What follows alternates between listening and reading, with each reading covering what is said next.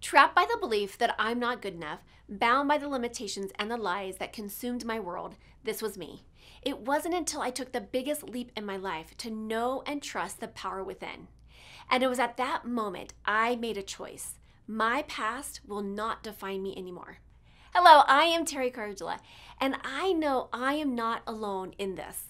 Over the years, I have found that the number one mistake that we make is that we get in the way of our own success story. Yes, I said it.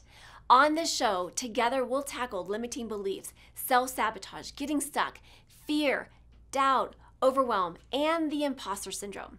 Join us on this journey designed to transport you beyond your limitations to a world where anything is possible. This is Talking with Teri. Hello, and welcome back to Talking with Teri, where we have powerful conversations to transform your life and your business. And today's guest is an exceptional being, and I can't wait for you to listen what he has to share. Bob Burg is a sought after speaker at um, company leadership and sales conferences on topics at the core of his Go Giver books, which I have right here, right? I just love your books. Um, along with your endless referrals books, he's also written um, uh, Adversaries into Allies, along with some other books. His total book sales are well over a million copies. Congratulations, that's a huge um, impact that you're having. The American Management Association named Bob one of the most 30 most influential leaders, and he's one of Inc.'s 100 Great Leadership Speakers. Richtopia named him one of the top 200 most influential authors in the world. And you, my friends, get to listen in. Welcome, Bob, to the show. Hey, thanks, Teri. So great to be with you. Yeah. So we actually connected and and and met at an event here in Denver years ago. We actually yeah. um, know uh, a mutual friend that we were just talking about. Mm-hmm. So it's great to have you and have you here just to share some of your wisdom. So at, I always ask people, um, just right out of the gate, just how, just give us a short bio or a short, you know, like a 30 second, if you will. Um, uh, just how did you come to be where you're at today? Yeah, uh, I began as a broadcaster, was not very good at it, graduated into sales, knew nothing about sales. So I got books and back then tapes and went to seminars and I learned and I applied and, and did well. And um, eventually worked my way up to sales manager of another company, started sharing with others what was working for me. Uh, started to see that I could perhaps make a living as a speaker. And as they used to say on the Seinfeld, yada, yada, yada. 30 years later, you and I are talking uh, to a whole bunch of nice people. I love it. So tell us um, in your journey of becoming this, you know, hugely influential, um, recognized brand, um, incredible speaker. What were some of the challenges or barriers that you had to overcome in that journey? Uh, well, I mean, I think question, by the way. well, but I mean, I think self confidence. Yeah. You know, can, can I really do it? What gives me the right to be here doing this? Are people going to listen to me? Am I going to communicate in a way that actually helps, makes a difference? Uh, again, am I good enough to do this? Do I, you know, I mean, all these yeah. things, fears. I mean, our human beings, we have fears. Yeah. And, um, and uh, you know, I think worthiness always fit. I don't know, always for me, you know, it, it yeah. figures in and, and we've got to be able to, uh, to, despite those feelings, move ahead and work through yeah. them. Yeah. You know, and I see, and I see a lot of some of the, the, the individuals I work with are highly achieving, um, highly motivated women entre- entrepreneurs. Mm-hmm. And, you, you know, it's, it's amazing to see. And I have not yet met an individual that has not gone into business and not been, um, I don't know, uh, what's the word I want to use? They've all been impacted by some sort of, like you were saying, confidence, worthiness, almost like that layer of like imposter syndrome of like, you right. know, am I really, am I, am I, am I really contributing? Am I really making a difference? Who am I? Like, right, that those, those stories that get in our head and they can be powerful stories they can oh. and a lot of times they mm-hmm. hold us back so what were some of the things that you found helpful in your journey um, early on in your career um, that supported you to move through that Well, I think understanding that I did have a, a certain skill set. You know, I when I first started, it was really uh, speaking about cultivating referral business and being able to cultivate relationships where people could would know you, like you, trust you, want to do business mm-hmm. with you, want to refer you to others, which is something I was able to do. So, so on a on an intellectual level, I knew I could do it. That I I did have a right to be there. Was the emotional part that you know yeah. you, you question yourself, but uh, and and so I, I think it was a matter of coming to grips with yeah i do know what i'm talking about. Boom i'm going to go out there and do it and work past you know work past the fear. So really it's it's about taking action right? Just i know it it's is. there.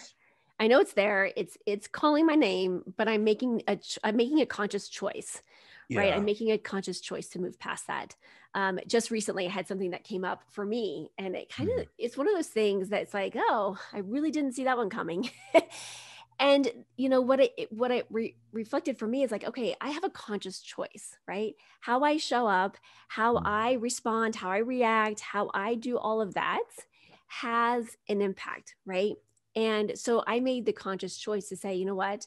I'm going to find the gifts in this. I'm going to you know you know you know see myself you know and work through this piece and and again it's a, it's it's i think comes back to that mindset of you know we have a choice at the end of the day mm-hmm. we have a choice on how we show up and how we respond yep. to what's going on and we all have it and what I, I want the listeners to hear is that we all suffer or have suffered from this at mm-hmm. some point in our career um, or in our you know entrepreneurial journey um, so you're you're spot on right there I might worry more about the person who never has experienced it. right. Well? I have not met that person yet. Um, yeah. I, I mean, I, yeah. I mean, I, I think there, you know, I think there are some, um, but I don't think they realize that they may not come off as effectively mm. they think they do. You know what I'm saying? In in different what? areas because I'm yeah. because there's really no you know, it's like what's that? I'm trying to think of that saying that the people who who uh, think they don't know who think they don't know enough are typically the ones who know a lot because they're so uh, anxious to make sure they know enough. Right. They're the con- person who already think they know it thinks they know it all probably knows less. They just think that, you know what I'm saying? Gotcha. Yeah, that makes it that's a great point, right? Like you're absolutely right. I, I find that I've all the folks that I've ever met and come in contact with, they're always on this like personal journey of learning mm-hmm. more, you know, and and and diving in. And I think, you know, I think that's um part of the kind of the curiosity, right? And just how do I how do I continue to grow myself so that I can serve more people and yeah. how can I be a bigger contribution? And the more I know, the more I can support, right? Yeah, and I want to make sure that I didn't just communicate some uh, miscommunicate something confidence is a great thing. Yeah. Okay. It's, but it's having confidence based on having done the work, you know, based on having worked on yourself, based on preparation, based on learning what you didn't know that you thought you knew, right? Uh, yeah. Uh, the kind of confidence when the person really doesn't know or hasn't worked on that's arrogance. That's not confidence. Yeah. And and you know, you can arrogance can fake their way a little bit through.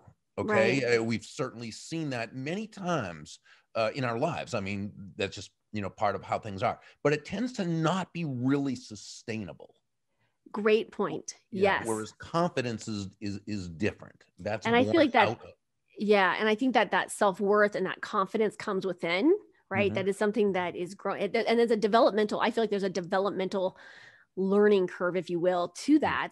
Um, because I think, and I think I don't know about you, but for me, I can speak to is I started out in that ego spot. Like my ego was like, bull, like I got my business cards and I'm like, you know, like I know my stuff, right? And then I realized over time that it was kind of a, a fake facade, if you will, around confidence. And then it's like, oh, but every time I was challenged with that, it was like, okay, I got to go in. Mm. I got to go in. And, you know, and so I feel like it was over time you know create and mm-hmm. i think i'm still going to continue to work on all of this you sure. know? You know we we all i would think you know it's a it's a, a work in progress for for all of us. Yeah. So what do you feel like has been um i don't know your um i actually you know what kind of i'm going to say this. Even in the backdrop of where we're at today right? I know that there's a lot of um, business owners um, you know, a lot of individuals that are faced with fear. I mean, fear, let's be real, like I feel like this this pandemic has been um, has brought to the forefront this concept of fear, right? On all levels, on all, you know, um, you know, dimensions, if you will. So, how have you? Um, I always like to ask this question: like, how have you turned fear into your greatest light? How have I turned fear into my greatest light? You know, I think it's a it's a wonderful question, and, and I think you know to the degree that we can work past our fear, whenever we do, we do turn it into to light. Which I don't think again, I don't think that means denying that fear. Yeah. Okay? I think it means acknowledging it and then you know working within it. How many how many sayings you know have we heard along that line? Mark twain is is credited with saying that courage is not the absence of fear but the mastery of it. Yeah. You know my yeah. dad always said uh, uh, who is a brave person and then said that person who's smart enough to be afraid and still do their job. And yeah. so i think any time that we have fear and that we work through it I think by the very nature of the thing, that turns it into into light. Yeah. That's beautiful. By the way, was that your puppy in the background? It it, it is. I'll let oh, him bring, come on camera oh, and say hello. Oh, so hi, buddy. I, I will say, oh. I will say, oh. he's a miniature Dachshund, and I, I will hi. say, I thought oh, it worked out the oh, little oh, communication thing. Hi, baby. Say hi to Uncle Bob hi uncle bob. Um, i thought we worked out this really clear communication with him that he was going to stay down inside of in front of the little treat that i got him in front of the fireplace but he, he made himself welcome to our conversation. He's he's all about the 15 minute fame. Um so, um and so how have you been dealing with um all that because i think a lot of times um, this has been sh- this has been true for a lot of people is showing how you know we have you know a lot of people are saying talking about pivoting their businesses and you know um, you know really changing and shifting the way in which they've done business mm-hmm. um, kind of on the backdrop of you know what we're experiencing in this day and time in our life. So how have you um, been doing this? Well i've been i've been luckier than most in the sense that you know at, at 62 and a half years old years of age what have you uh, i have really over the last few years made a made a, a concerted effort to uh, get off the road more anyway yeah. So I'd been doing less and less outside of Florida, you know, to get on a plane. I just don't. I never really liked traveling. That was never the the fun part of my job. Mm-hmm. I loved my. I have just felt blessed for the last 30 years to be doing what I do. But the yeah. traveling part was never something I enjoyed. I enjoyed everything else, just not the, yeah. Not the travel. So I'd been doing that anyway. So so when the pandemic hit and things were getting closed down, many of my colleagues, I mean, it had a whole year's worth of of income just boom, what you know, yeah. wiped out. I really didn't. So it and and so what I have done is I've I've now decided, and I did make the decision that even after this this uh, thing is over, uh, I'm still not going to travel anymore. I've just, uh, you know, I had been cutting it down to 20 times a year. Now it's zero a year. I'm not getting yeah. on a plane. I, I am going to do, and I have been already doing some um, uh, keynote talks at conferences virtually. And I'll still do those from now on, even if after this ends, if they're, you know, if they're doing that, which I think they will start start having more of those. But yeah. so so in this case, it really wasn't something where I got, you know, hit as badly as, and I feel so badly for not only the other speakers but everyone who's who's had Especially, the stress of having yeah. through this horrible situation. Yeah, and I I would agree with you. You know, um, I own two companies, and so one of them we just did it with 72 hours. We made a quick pivot and went virtual, and the other company has always been virtual. Mm-hmm. So it really wasn't like you said. I wasn't impacted by it as much, but um, I my heart just goes out. I just oh uh, this weekend, I just found out that this company, um, a brick and mortar company that just I love in our town and has been here for, I feel like ever, um, just closed its doors. And oh. I just, it's so heartbreaking, you know? Um, and I just have to, I have to be in a place of saying that, you know, there's some, there's some greater good that's, that's coming out of it, you know? Yeah, so. I mean, you know, it's it, it's one of these things where you know, again, that's you know, part of uh, I guess part of uh, uh, of faith, whether whether religious or not, it doesn't matter. But just having Yeah. faith that that eventually, yes, we'll recognize the purpose and what the thing. But at the time, it stinks. You It know, and stinks. I mean, it's terrible. and, you know, yeah. and and I, you know, I say to people, don't you know, don't do the oh, this is good because uh, you know we'll find out later if if and why it was good. Right now, Yeah. we need to. Uh, and and- and my suggestion is this: we control what we can control, and we try as best as possible to not be attached to that which we can't control. Easier said than done, of course. Right. something we always have to continue to to work on. Um, but yeah, I mean, I I think that's really what it comes down to. Yeah. Uh, I've, I've been having a lot of conversations of, of just like releasing the outcomes because I think sometimes right now, I don't know if you've experienced this, but I have a lot of people that saying, okay, after the election, after the election, and like I think there's gonna be like some like rainbows or magic unicorns or something that comes down and like takes a Right. takes away this or after you know after you know um, New Year's Eve, right?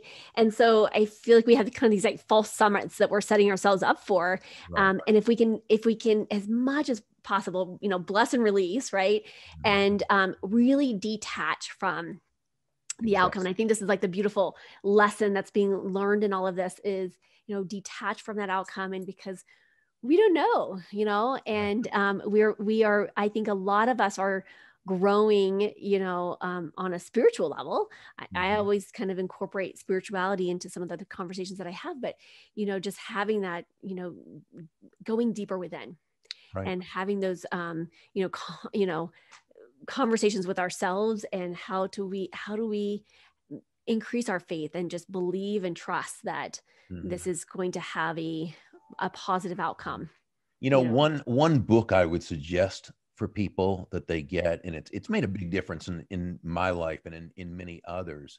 Uh, it's by um, uh, Michael Singer called uh, "The Untethered Soul." Mm, Uh, Yes. Also, he has another one um, called "The Surrender Experiment." Surrender not meaning giving up; it means, it means losing attachment to outcomes. Basically letting go yeah those two books and you can get the audio and the the books. I have both.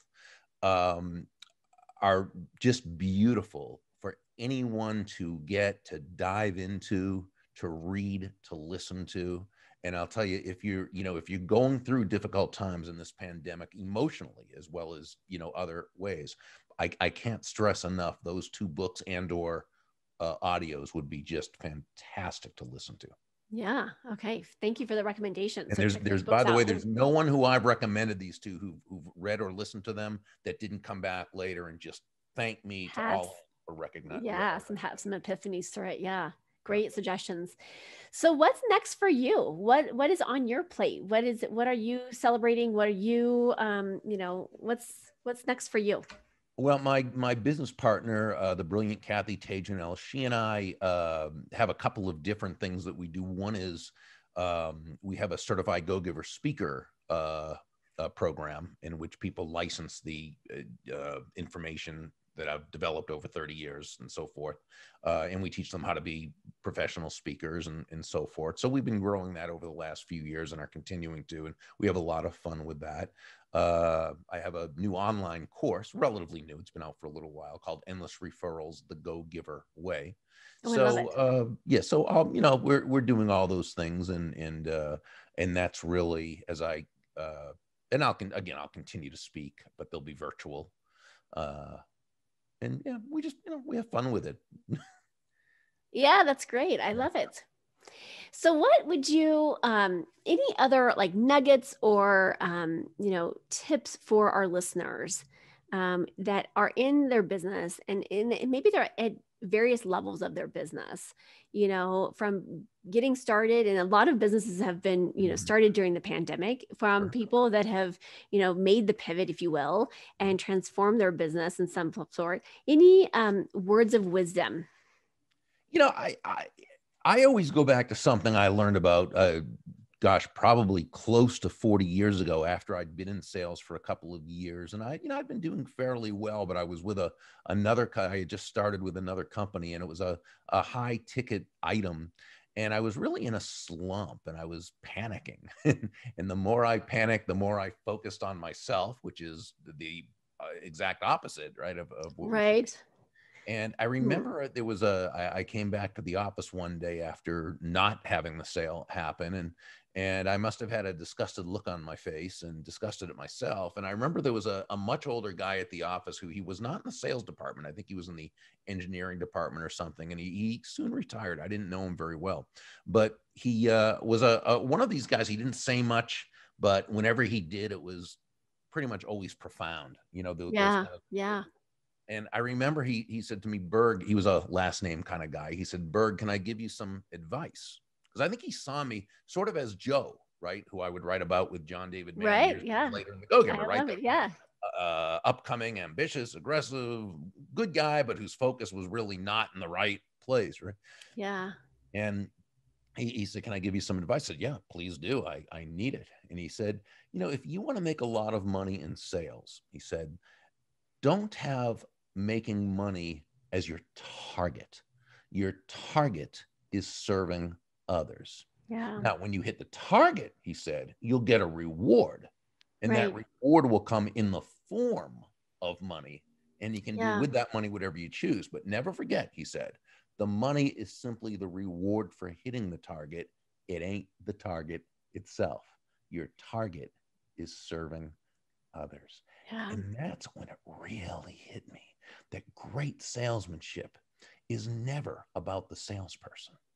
Great yeah. salesmanship is never about the product or service, as important as those are. Yeah. Great salesmanship is about the other person. It's about those people whose lives you choose to touch. It's about those people whose lives become better just as a result of you being part of it.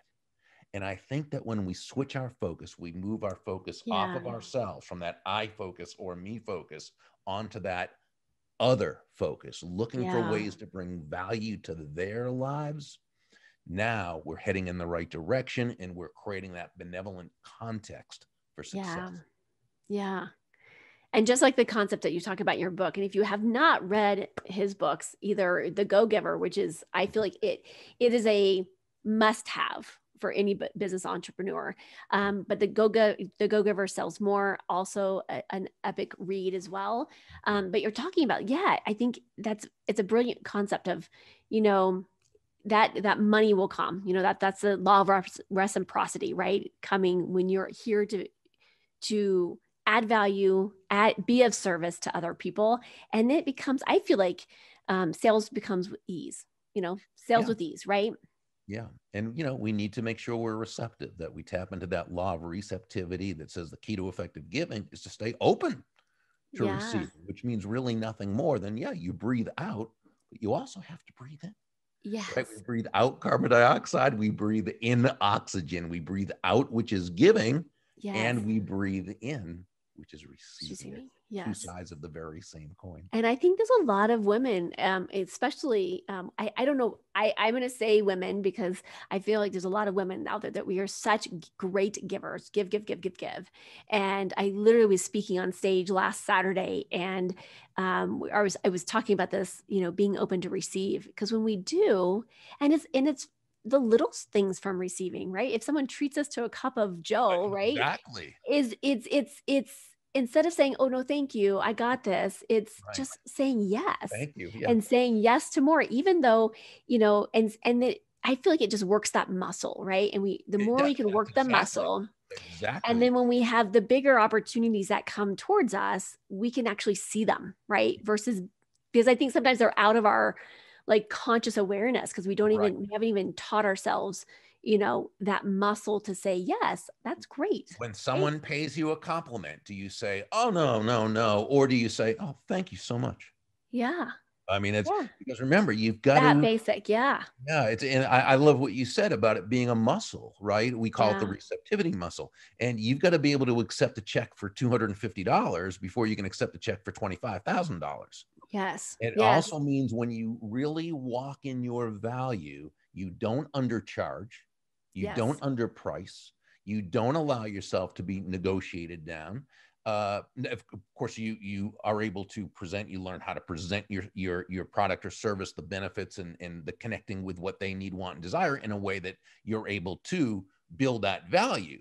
but it also means that you understand your value. You walk in your value mm-hmm.